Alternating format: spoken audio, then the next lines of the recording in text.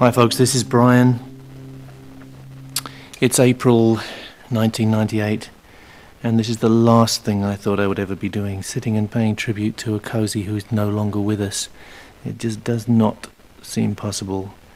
I'm sitting on the spot where he so often hammered out incredible drum parts for us with great enthusiasm and power and optimism and humour. It's impossible to describe what a terrible gap it's going to leave in our lives our mate Cozy not being here. He was a fantastic support, a fantastic energy and vibe. He had the most incredible attitude to life, which leaked over into everything he did. I think for the whole world it was much too soon. He was a wonderful, great drummer, one of the people who defined a whole style which became part of the mainstream of rock and roll. And Cozy, if you're listening, you were the best, and we all know it. And uh, God rest you, mate. We love you.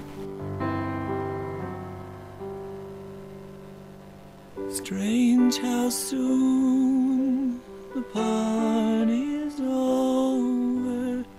I should know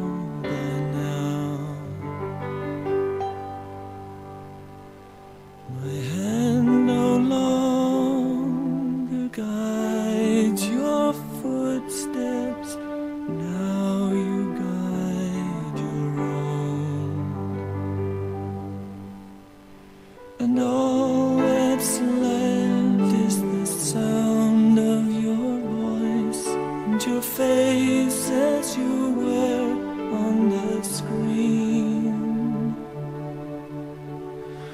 Hush, don't you cry,